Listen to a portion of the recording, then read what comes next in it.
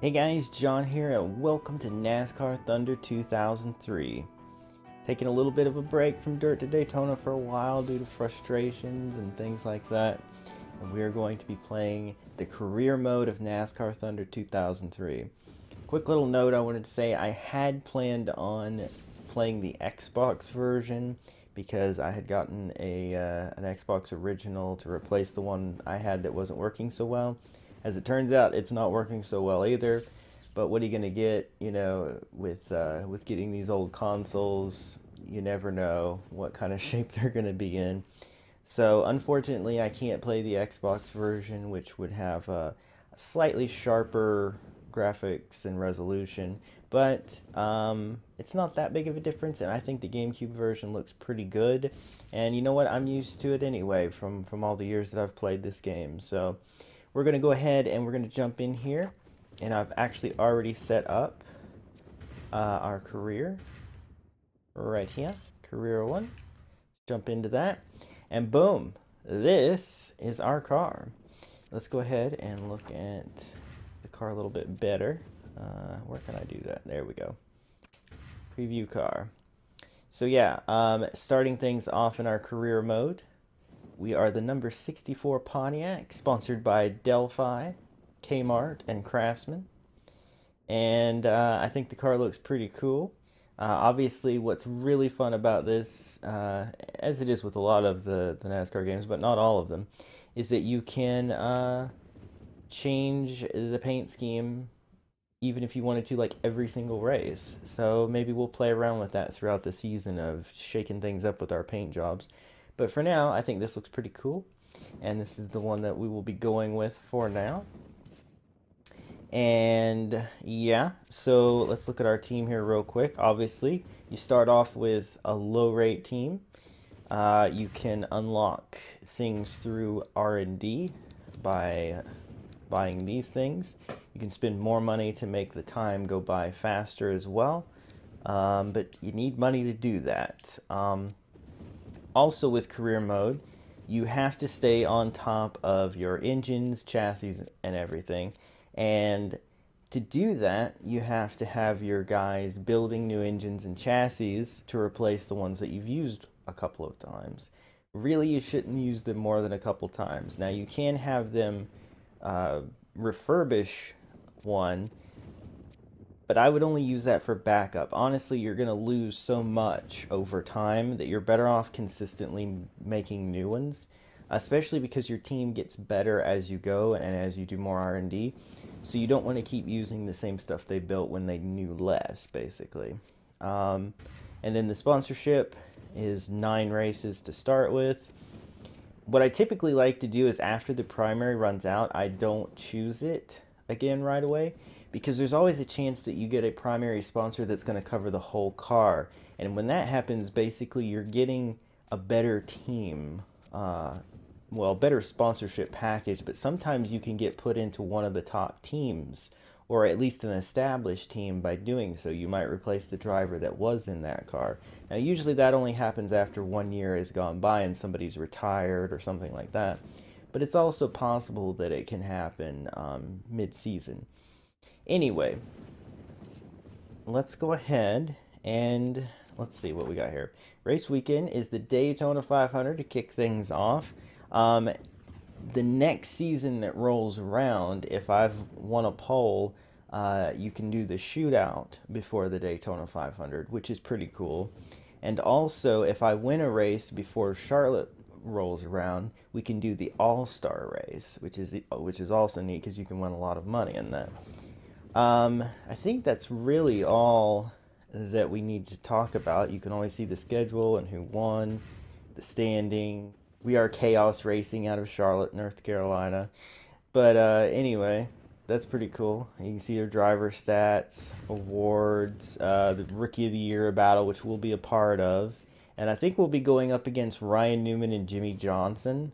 So that's some stiff competition. But uh, that's going to be fun. And then as the years go on, they add in new drivers, um, you know, fantasy drivers or whatever that take place uh, take the place of other people and they run for Rookie of the Year. But uh, anyway, let's go ahead and head to the Daytona 500. Now I have a couple of tricks that I'm going to talk about once we get there for, for setup and stuff. So yeah, oh, and I should go over, the, I guess, the settings really quickly. Uh, we have 10% race length to start. Uh, damage is limited. Yellow flags are on. I do allow assists. And you're going to probably be mad at me for this, but I am starting on rookie. But trust me, this game is difficult. Why do I need to save? I didn't change anything. Um, this game is very difficult. And we'll see quickly that it's a good thing I did this. Now, going into the next season, I will likely be upping the difficulty and maybe even the race length.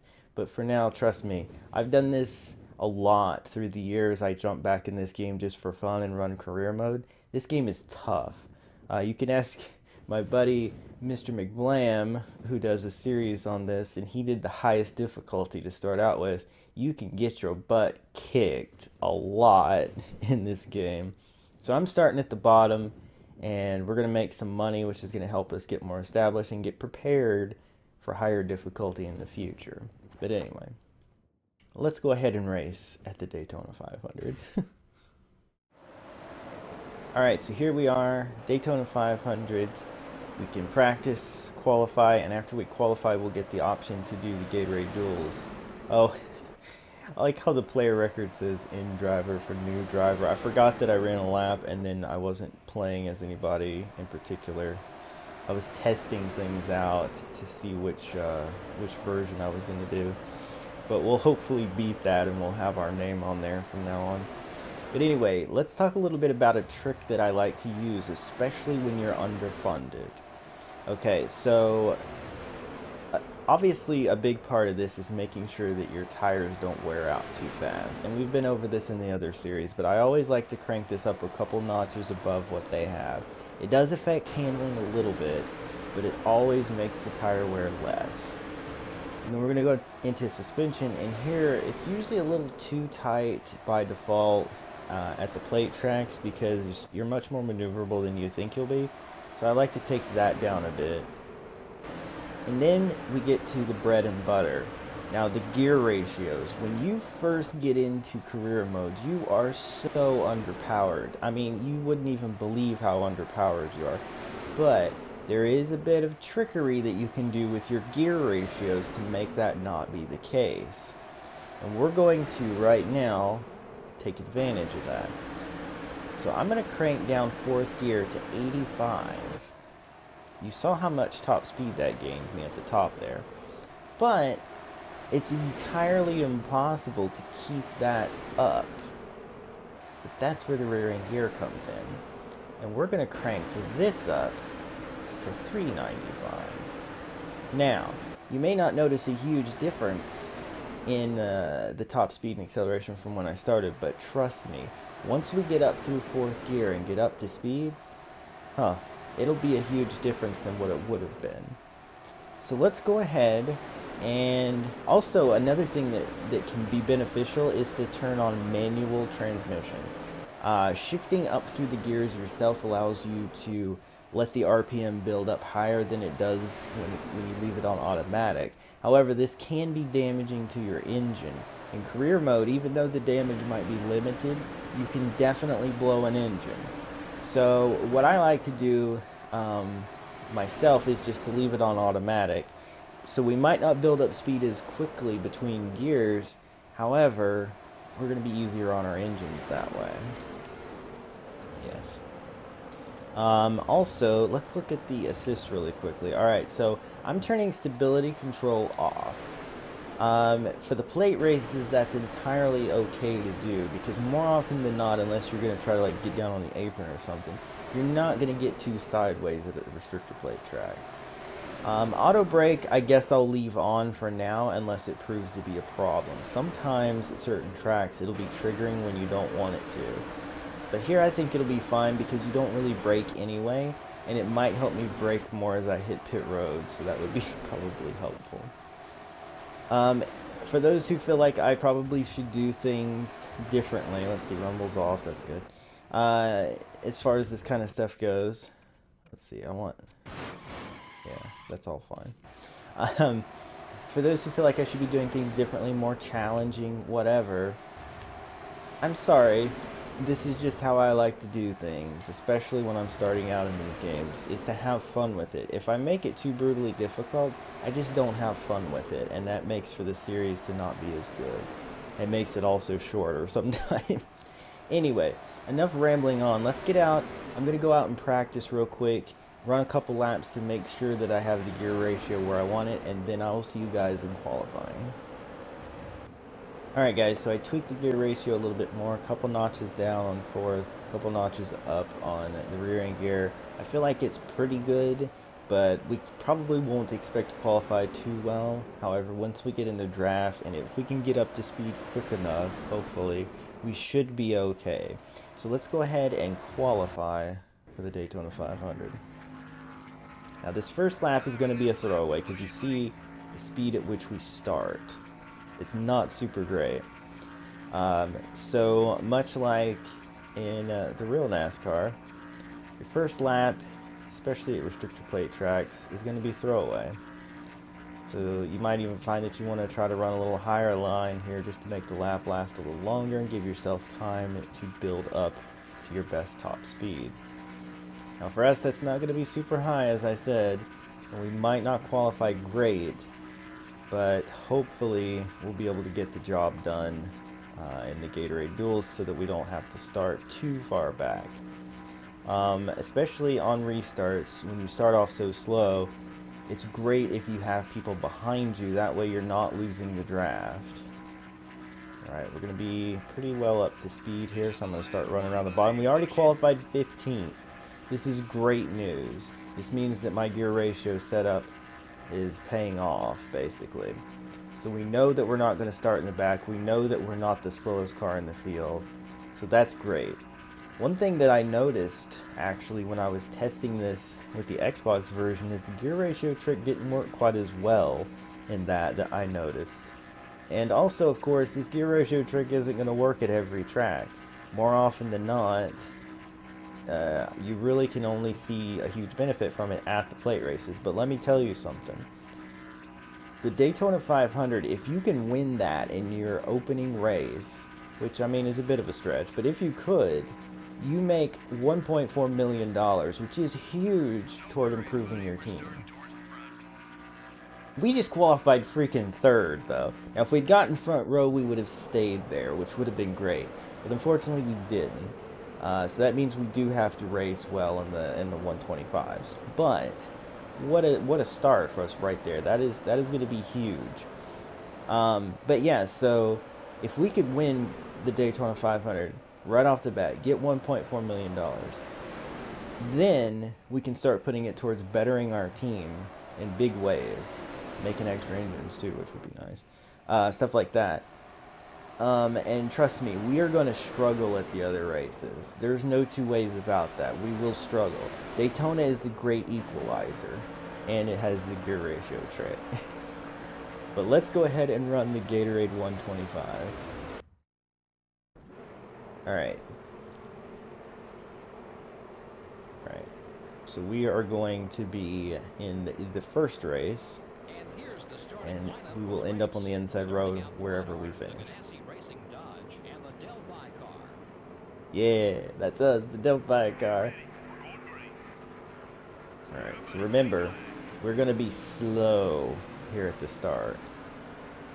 Because of the higher end uh, gear, especially in fourth gear, we're going to have a hard time getting up to speed. So it is important to make sure that we have people behind us uh, providing a draft because these guys are probably going to get away from us. And to be perfectly honest, we might not catch them. I mean, that's just all there is to it. We might not catch them. Um, so we may not be able to start in the top five like we qualified.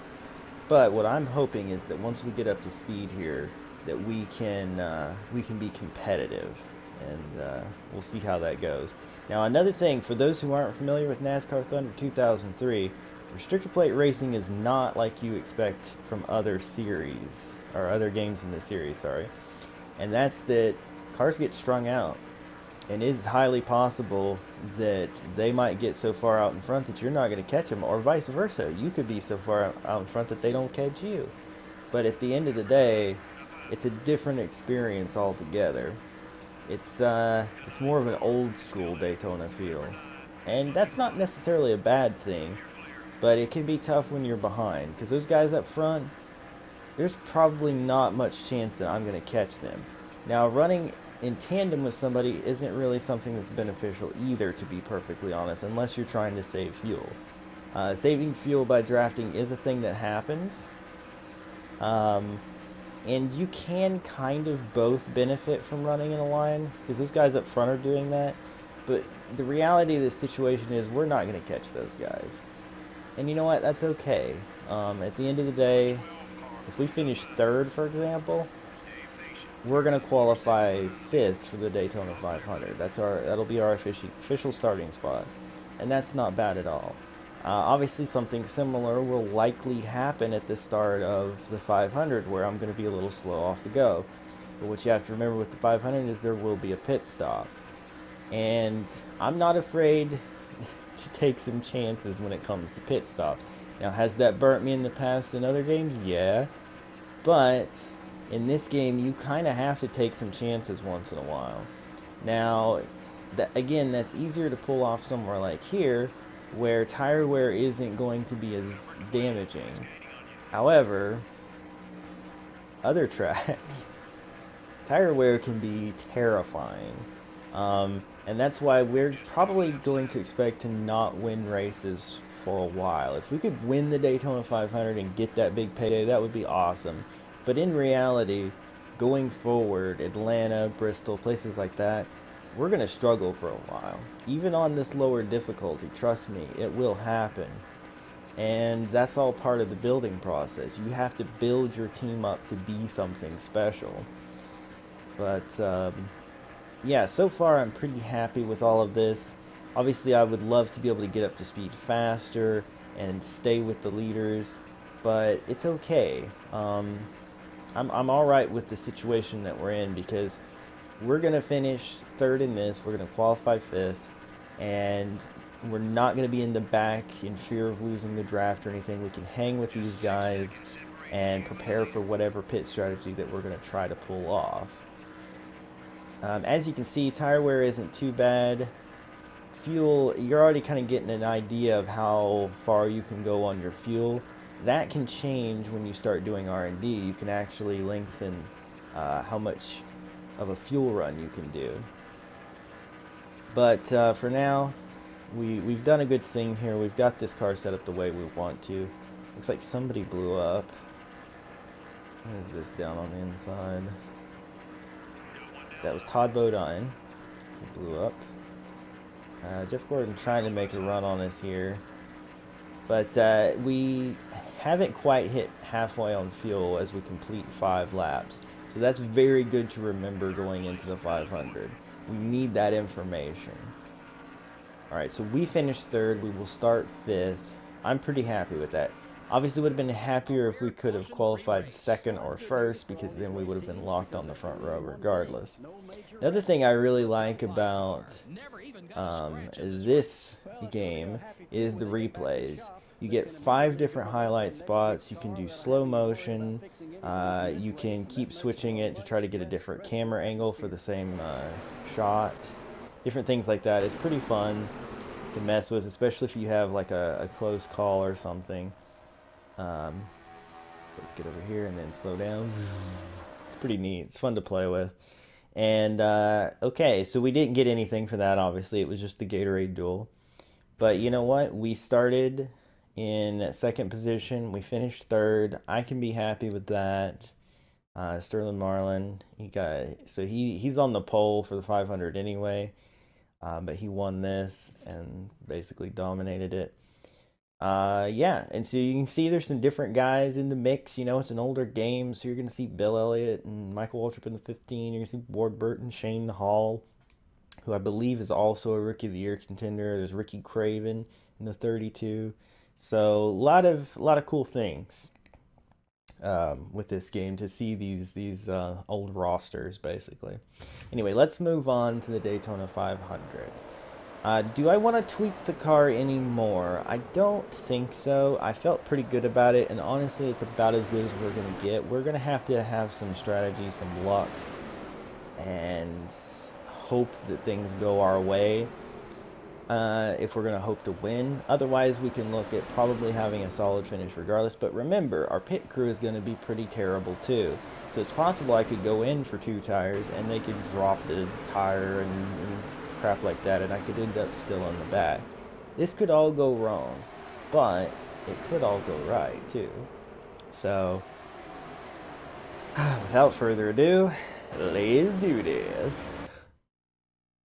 Well, here we are at the Great American Race, the Daytona 500. I'll actually let this play out a little bit. It's kind of cool because this is Joe Moore, and I'm with Barney Hall. They pan over and show the everybody starting. Here at this track, the teams seem to be all pushing themselves just a little harder this week. There's no doubt about it. A lot of these NASCAR and Winston Cup drivers will tell you that it's really no different winning here than anywhere else. But those are the guys who haven't done it yet. Once their name is in the history books here, I guarantee you they'll change their mind. Rusty Wallace was the 1989 Winston Cup champion in one of the closest point races in NASCAR history. Well, that was a pretty exciting weekend in Atlanta. They may also later on in the year talk about us, like if we did well somewhere, if we've won, we've won poles or something like that. 2000 was a memorable year for Johnny Benson. But uh, they're not going to talk about us this time around, but they can in the future, and that's pretty cool. They actually run through a full lineup thing too for each deal, but uh, that takes some time. So we're just going to jump straight into the race here. And we just have to hope to goodness that we can get up to speed. Um, again, it's not easy to get up to speed with this gear ratio situation. And I probably should have let that line continue to go so that there was more people for me to pull off of later. Uh, but it is kind of nice if you can stagger them out a little bit like that. Because now we have a chance of catching and passing Newman, catching and passing Gordon, and still being close enough to the front pack to latch onto them. We'll see. But it is nice if you can kind of stagger them a little bit like that. Probably should have kept somebody more directly behind me here. Because I don't want Newman to get away from me. I have to hope that we can get close enough to still be sniffing a draft. Okay, Michael Waltrip might help us out here a little bit. Being behind us. Yeah, actually that did help us get up to speed and stay with Newman. I need to draft up here to Newman. I might just slingshot past him to keep up momentum and try to keep Mikey behind me. Okay. don't know if I'm going to be close enough to stay with uh, those guys up there, or to catch those guys up there. We'll see. I can get enough momentum built up from Mikey behind me. Let's see. Maybe, and they're running side by side, which helps, but that front group is definitely getting away, which is not so great. Okay, I've kind of lost Michael a little bit there, but uh, We've latched on to Jeff Go or uh, Jimmie Johnson now.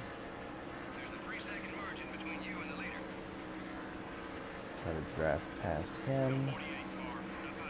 Catch on to Jeff.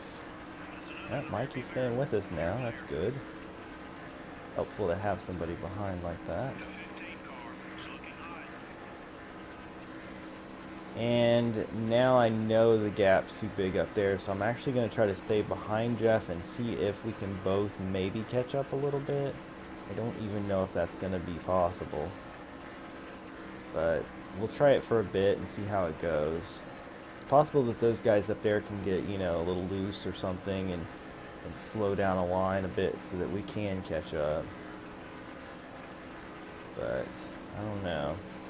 I've typically found that running tandem doesn't help much in this game, but maybe in this case it is helping us some because we are running much higher top speed than we have been. Actually, it is helping.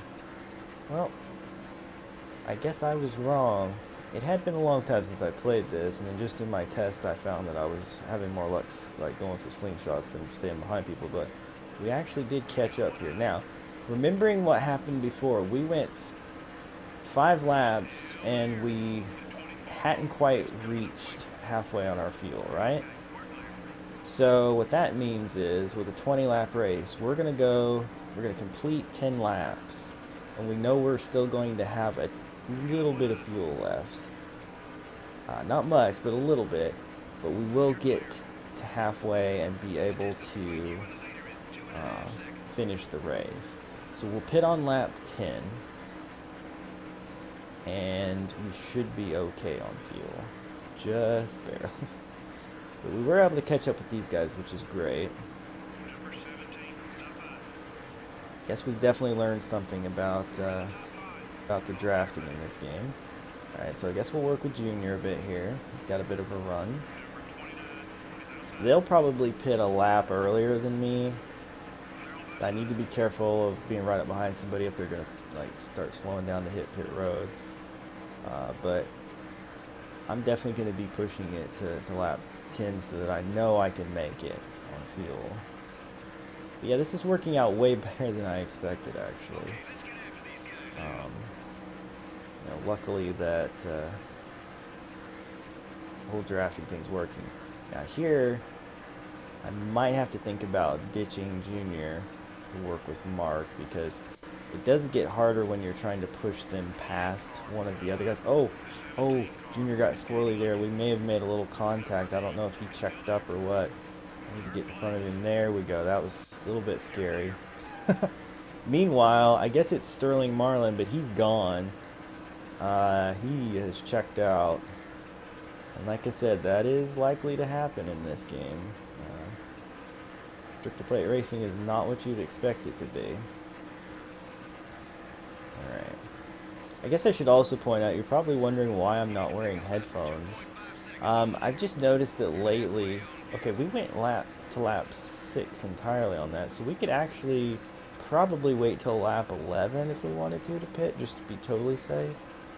Anyway, uh, I've just noticed lately that with recording, editing, uh, watching stuff, and then streaming, that I've been wearing my headphones like 14 hours a day or more. Uh, probably more. I haven't been getting a ton of sleep lately.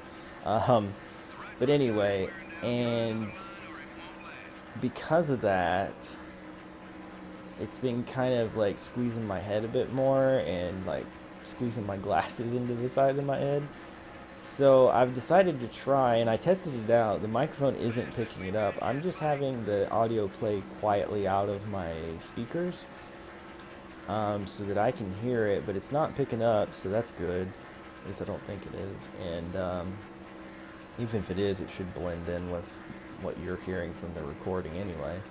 Um, we're actually catching Sterling. This is great. I'm so happy that this is actually working, this drafting business. But uh, anyway, uh, so that, that way I can, once in a while, at least when I'm recording certain things like uh, console stuff, that I could maybe go without my headphones so that I'm not getting uh, my brain squeezed out. I can't believe this has worked. I don't know why, but I was convinced that you couldn't draft people in this. Maybe I'm thinking of one of the other games, but alright, we're going to ditch Mark, unfortunately. Might seem a little rude, but Sterling definitely has been the fastest car, and hanging with him seems like a wise decision. But you know what? We could uh, we could see ourselves taking the lead here in a second.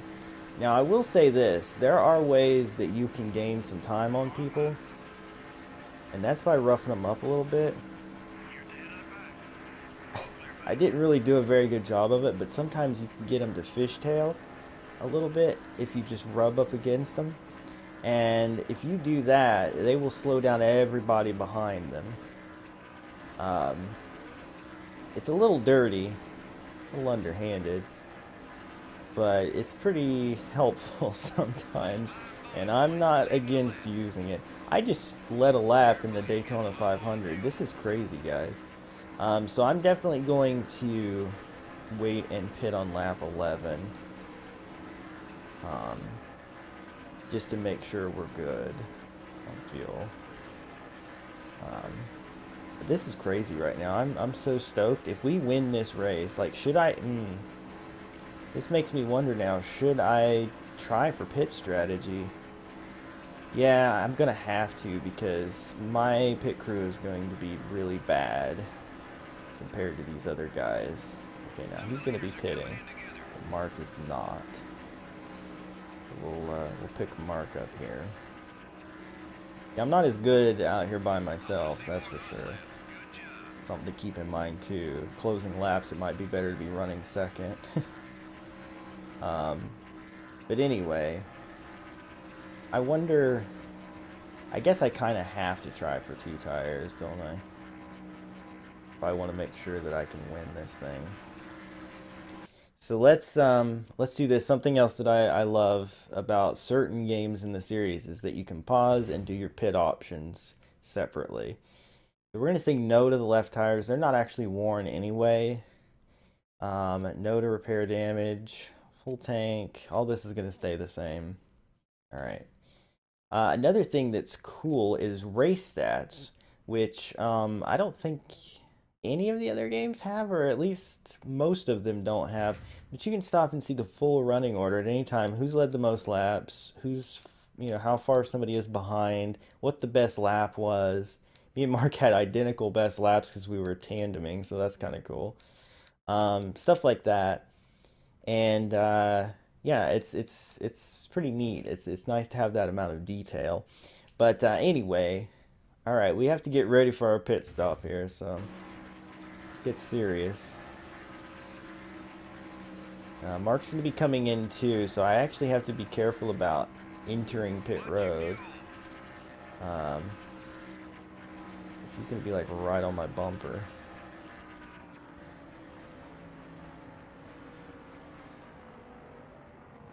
He's actually going to blow past me here, but it's okay. Now, speed is 70, I think. Tony Stewart just got me a pit road speeding penalty, so I can't take right tires either. Because I got a five second penalty at it. We just lost the Daytona 500 because my favorite driver just rammed into us.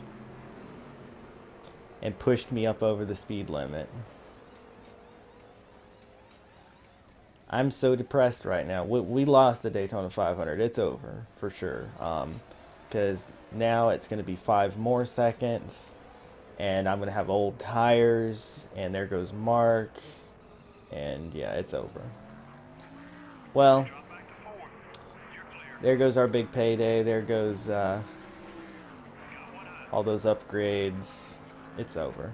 We're not even yeah we're not even gonna get a top 10 he's rammed us too but maybe that helped us get up to speed faster. Uh yeah. Whatever. Okay I don't know, guys. It's it's frustrating, you know. We we did everything right, and then we got rammed, and because he rammed us, we went over the speed limit. So maybe I should have pitted the lap before, but Sterling had pitted then too, so we ran the risk of still being with people who could have bumped us. Um, but it's depressing. It is very depressing. Um, anyway, so we're not going to get up to a very good top speed on these old tires. Um, they won't blow or anything, and we shouldn't like spin out, but um, you know, unfortunately, they are going to, to cause us to not run very well. Um, oh look, there's there's Tony. Thanks for what you did to me there, buddy.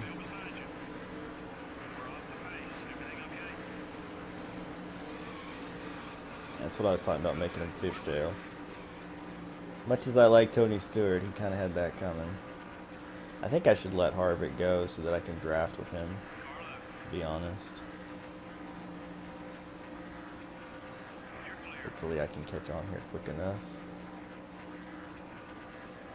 Stay with him. Come on, get a little closer, get a little closer.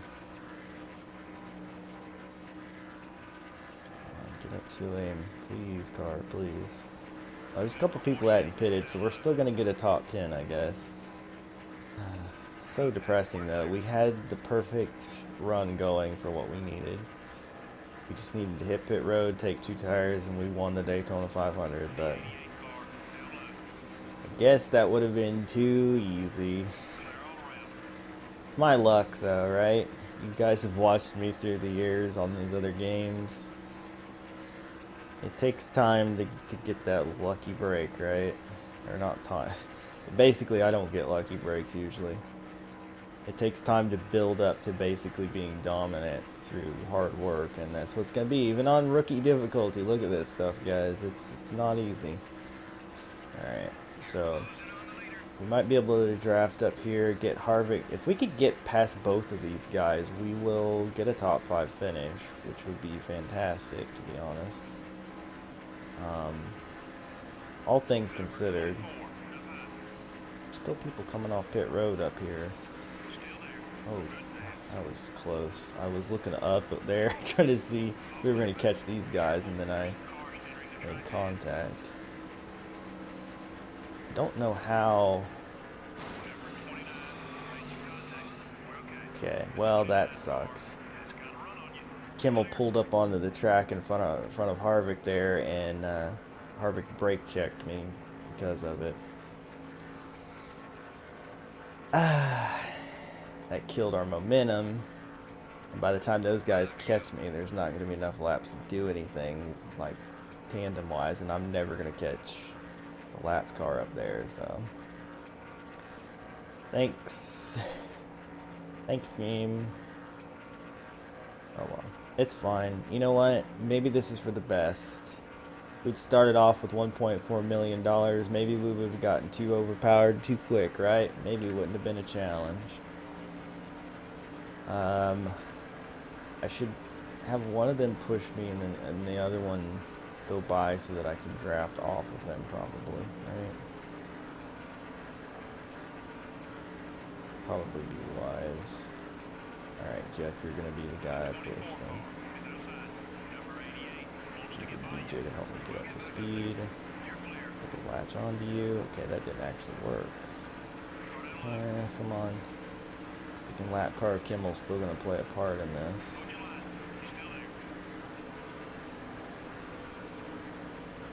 Yeah, I'm losing spots. Oh, Jeff just got... Wow.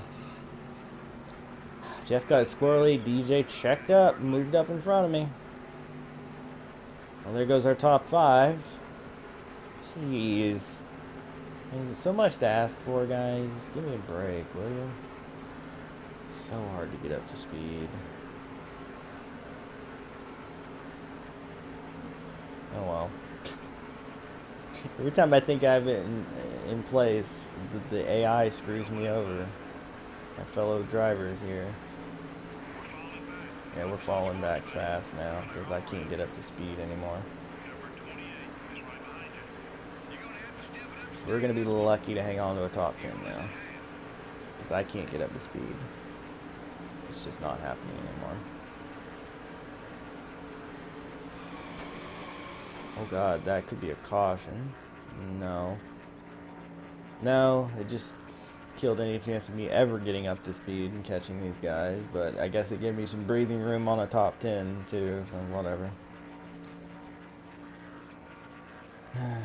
yeah, our tires are shot, we've got a bunch of damage, we are never going to get up to a decent top speed, so they're going to just keep occasionally, well, I don't even know, they're so far back, but somebody will probably catch me, I'll fend them off, and looks like we'll finish 8th.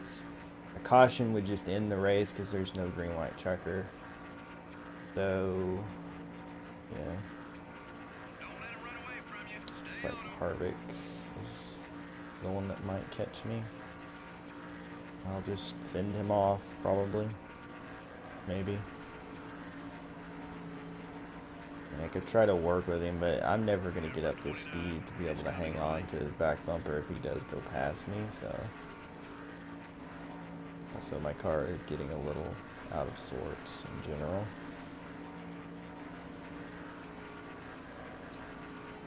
Here took the white flag while I'm on the back stretch, that tells you anything about the kind of lead that they have.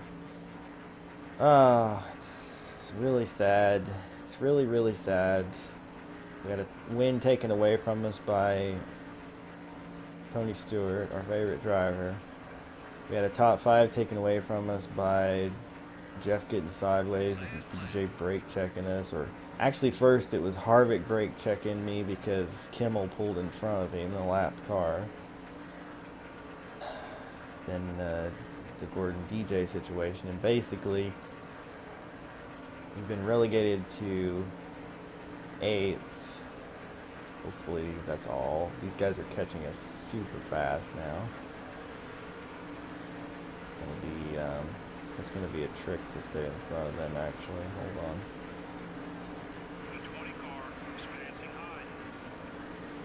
Gonna have to.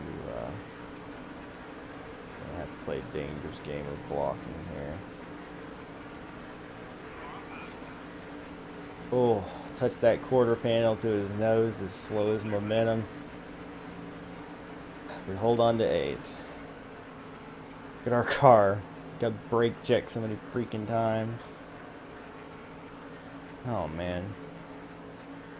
The yellow flag didn't fly at all in this one. Yeah, and that can be physically exhausting to these drivers. see that. Not only do the cautions Wow. give them a chance to catch up on the racetrack, it also gives both their minds and their bodies a little break. They have all got to be drained after that one. The Delphi car had a good run, finishing in the top 10. Of course, all these teams want to win every race, but a top 10 finish is still a great accomplishment at the racetrack. This has been NASCAR Winston Cup Racing, brought to you by EA Sports and MRN. Next up is North Carolina. I do like the inclusion of the MRN guys. It's a nice touch. It's cool getting to hear Barney Hall. Rest in peace, dude. Well, we'll watch this final coming to the finish line move here as I block Stewart aggressively. But after what he did to me on pit road, he kind of deserved it. And that's it. At least my name will be on the best time now instead of the other stuff. And we still walked away with nine. Wait, did that say 94,000 or 940,000? That's still a pretty darn good payday. Obviously, would have been way better if we had won, but hey. Alright, well, let's see our overall stats. We started fifth, we finished eighth, we led two laps. It's our rookie season. We're in a piece of crap car whatever, you know, we could have won 1.4 million dollars, but hey. it's okay. You know what? It's it's something to build on and maybe maybe that would have been too much too soon. I don't know. Look how look at that difference in times. Sterling Marlin did hold on to win though. That's I guess that's good. He kind of deserved it. But it is interesting to see how that shook out. Anyway, whatever. Let's uh let's put a cap on this first episode. Uh, these are probably going to be one uh, race episodes simply because of the length. Uh, this one's longer than those will be though because of you know the Gatorade Duel and me taking time to explain a bunch of things. Uh, so obviously things will change as that goes along. But uh, but yeah, so our next race is at Rockingham, uh, North Carolina Speedway, which is kind of cool. Um, we are. See, see, it'll show you who won. Uh, we are seventh in the points because of our bonus point for leading, so we actually are one spot higher than we finished, so that's cool. And uh, let's see. We see the weekly awards. We got Rookie of the Race, meaning we beat Jimmy and Ryan and Shane Hall and whoever else is a rookie. Um, and if we look at Rookie of the Year, we have a nice little lead over those guys to start things off. And you get a decent payday for being Rookie of the Year, I believe, as well at the end of the year. So that's cool. Oh, Jamie McMurray, Kasey Kahne, Scott Wimmer, Shane Hall, Shauna Robinson, Greg Biffle, Frank Kimmel. Wow, there are 10 rookies in this first batch. That's interesting. I had kind of forgotten about that. And another thing that's cool um, is that those of us who are rookies that have the yellow stripes on our bumper, next season those yellow stripes go away, which I think is a cool touch. Anyway, that's going to be it for the episode. I hope you guys enjoyed. If you did, be sure to destroy that like button to show support for this new series. Share it with your friends. Subscribe if you're new to join the Wolf Pack, And I will see you guys next time for Rockingham Speedway. Bye. You can tell a story, but I can smiling